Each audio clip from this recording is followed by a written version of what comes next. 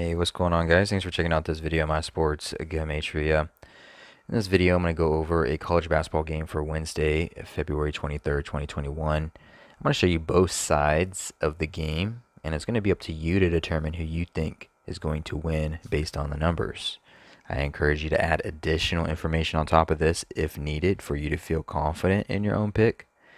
And if for whatever reason you're curious to know who I'm picking in these games, you have to join my Patreon where my picks are always in writing, underlined, and italicized. For more information on that, please read the description of this video. I wish you guys the best of luck in your pick today. Let's go ahead and get into the game. I'm going to be doing Alabama, the 6 seed, versus Arkansas, the 20 seed.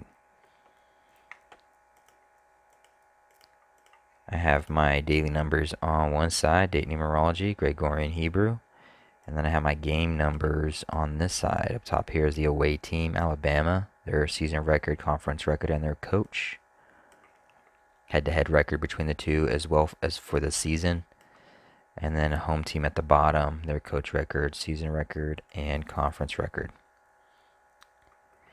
So if Alabama was going to win this game, these are the numbers you're probably going to want to look for.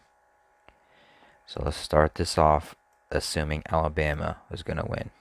So first things first, it's the Alabama's coach's 194th game. Today is a day leaving 194 left on the Hebrew Civil. Maybe that's a good thing for Alabama. It's the 55th game for the coach as a coach for Alabama. Today's the 55th day of the Gregorian with the win, Alabama, their coach would sit on 20 losses as a coach for Alabama in his 55th game. And the number 20 sums to 55.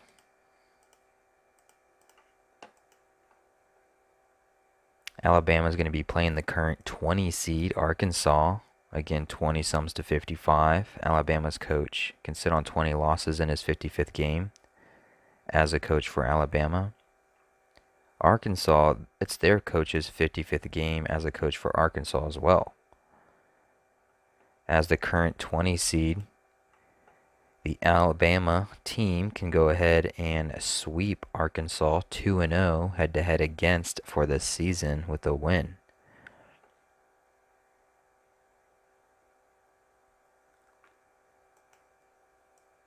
Alabama, they would pick up their 19th win for this season today with 67 date numerology on the Gregorian, the 19th prime number.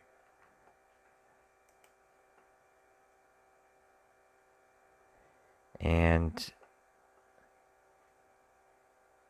for Arkansas, if Arkansas was going to win this game, these are the numbers that you're probably going to want to look at. It's the 64th all time head to head matchup between these two teams. Alabama coach could get his 64th loss for his career.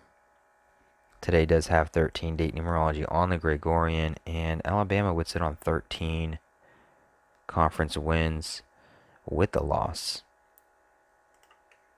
Today has 31 date numerology on the Gregorian as well. 31 is the 11th prime number. Arkansas can go ahead and get revenge and tie one to one head to head against Alabama for this season, like an 11. It's uh, it's Arkansas's 23rd game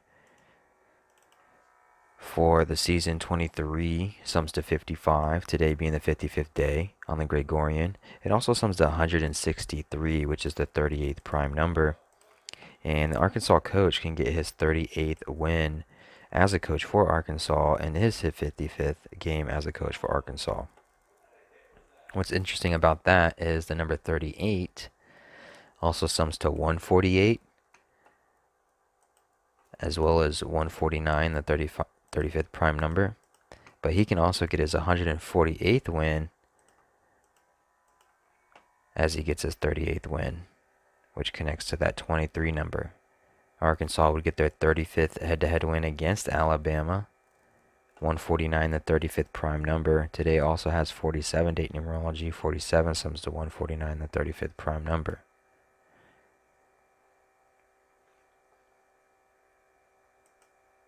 Alabama comes into this game with an 18 and 5 record for this season. And Arkansas, if they win this game, they would become 18 and 5 for a season record. When I was playing around with numbers looking at this and I typed in 185, I saw that 185 sums to 224. Today is February 24th, 2 slash 224. The day Alabama comes in with an 18-5 record and potentially with the win, Arkansas be can become 18 and 5 for a record with the win.